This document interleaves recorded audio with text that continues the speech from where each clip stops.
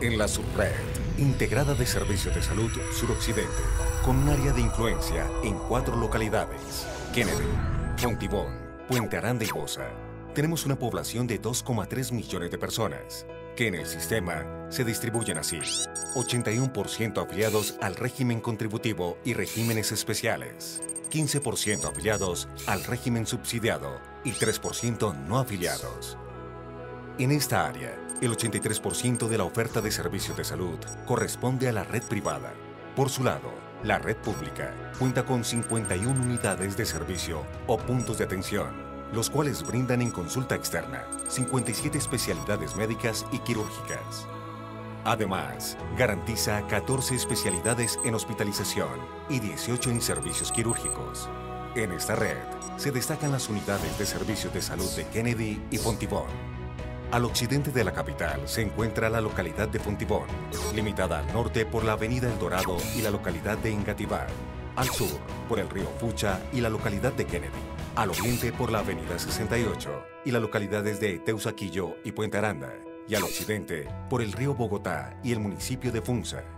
La localidad de Fontibón se ha convertido en un importante centro industrial y comercial, así como en el mayor centro de transportes para la ciudad. Históricamente, la oferta de servicios en salud de media y alta complejidad en los sectores occidental y norte se han consolidado en los sectores de Engativá, Suba y Usaquén, y al suroccidente con los hospitales de Kennedy, Bosa y Fontibón de segundo nivel, aunque deben con las limitaciones urbanas de acceso y área ya conocidas, así como con su deficiente conexión con el borde occidental de la ciudad. Esto pone en evidencia una brecha geográfica en servicios complementarios de salud de alta complejidad para el sector centro-occidente de la capital. Por eso, al analizar geográficamente la localización de los servicios, no existe en este punto de la capital una apuesta contundente. El margen occidental de Bogotá ha sido el área de expansión más importante del distrito, que se conecta con varios municipios de gran crecimiento como Funza, Madrid, Mosquera y Facatativá, pero presenta como área de influencia la segunda menor participación de la red privada con el 16%. Por ello, como parte del fortalecimiento de la subred integrada de servicios de salud suroccidente, se tiene proyectado el Hospital de la Ciudadela La Felicidad, el cual brindará una atención integral e íntegra a partir de servicios especializados de alta complejidad ambulatorio y de internación, incluido cuidado crítico e intermedio salas de cirugía, especialidades básicas y supraespecialidades de medicina interna y cirugía, imagenología y laboratorio de alta complejidad. Su desarrollo implica una central de urgencias prioritaria para el occidente de la ciudad.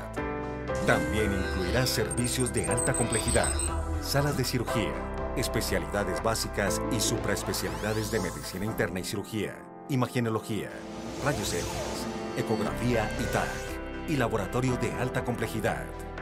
El hospital, que contará con 300 camas aproximadamente, estará ubicado en uno de los principales centros de desarrollo presente y futuro de la capital, la Ciudadela La Felicidad.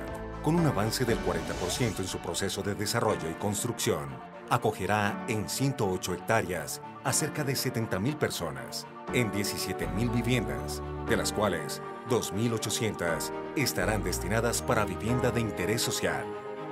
Con una localización privilegiada, este dotacional de salud estará conectado a través de una infraestructura vial propia, con acceso a la malla vial principal, como la calle 13 y las avenidas Boyacá y El Dorado.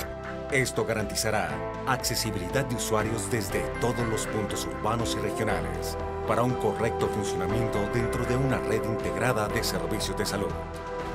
La felicidad será entonces el más importante foco de vida para el occidente de la ciudad, además de constituirse en un referente de la subred suroccidente.